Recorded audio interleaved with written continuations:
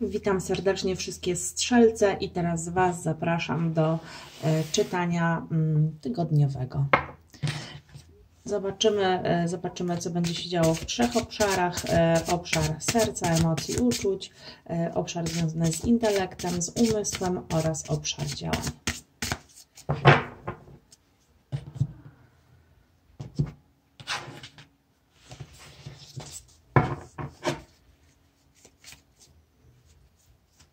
Prowadzi Was e, energia króla buław, e, osoby, która działa w skupieniu, która nie boi się e, podejmować decyzji, która planuje wszystko, realizując swoje zamierzenia krok po kroku, więc wydaje mi się, że bardzo Wasza energia, ponieważ bardzo aktywna postawicie na stabilizację e, w tym tygodniu. To znaczy, e, takie będą też sprzyjające e, Wam okoliczności otoczenia zewnętrznego. Jeśli chodzi o serce, energia ośmiu monet, która mówi o tym, że jesteście bardzo szczegółowe, pragniecie mistrzostwa e, w jakiejś dziedzinie, pragniecie być może dokształcać się w jakiejś dziedzinie, douczyć się czegoś, e, zdobywać dalszą wiedzę. To będzie z jakiegoś powodu dla Was ważne. E, być może e, wcześniej brak odpowiednich e, informacji mm, spowodował, że nie do końca, nie do końca dokonywałyście właściwych wyborów i teraz odchodzicie już od takiej energii emocjonalnej, rzucania się jakby na wszystko, co jest Wam oferowane. Idziecie w stronę mm, czegoś, co, co da Wam więcej satysfakcji, odchodzicie, zaczynacie, zaczynacie w jakimś znaczeniu od nowa pewien, pewien mały etap w swoim życiu, E, i, i to może wymagać e, od Was do uczenia się czegoś, do widzenia się więcej, ustalacie sobie priorytety, tak?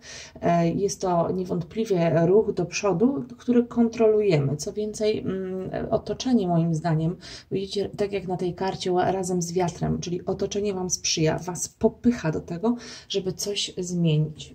Wy E, w zakresie obszaru e, intelektu również mamy ruch, tak? Mamy kartę rydwan, e, czyli taką samokontrolę, działanie w skupieniu, czyli znów potwierdzenie z kolei energii króla, króla buław. Pewnego rodzaju sukces materialny, na który zapracowałyśmy. Jesteście bardzo ambitne. Być może jakieś, jakieś, jakieś kłopoty emocjonalne, od których tutaj odchodzicie, Was wzmocniły i teraz pozostajecie zdeterminowane, żeby odnieść odnieść sukces. E, a może jest, a może odchodzicie skądś, e, żeby pójść w lepszym kierunku, gdzie jest ciepło, przyjemnie i, i miło i na przykład wybracie się w jakąś, e, w jakąś podróż. Niezależnie, niezależnie od wszystkiego energia koła fortuny z kolei mówi nam, żeby wierzyć swojemu przeznaczeniu, że sprawy będą być może obracać się dla, dla Was po prostu idealnie, tak? Czyli tutaj ta sprzyjająca e, aura, która będzie Was pchała w nowym kierunku, e, idealnie wkroczy w danym momencie w Waszym życiu.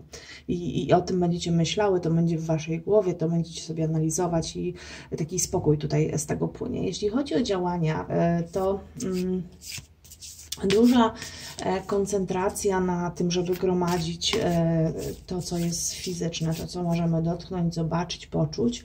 Kumulacja być może jakichś możliwości materialnych, e, stabilność, tak? Stabilność, stabilizacja, generalnie rzecz biorąc, nic, nic niezbyt, jak powiedzieć, Myślę, że to, to Wam yy, ta kumulacja do Was w jakimś tam sposób zapuka i zawita, ponieważ wcześniej na to pracowałyście i w tym tygodniu może być jakaś zmiana w tym zakresie jakiego, jak, jakiegoś ruchu ku lepszemu.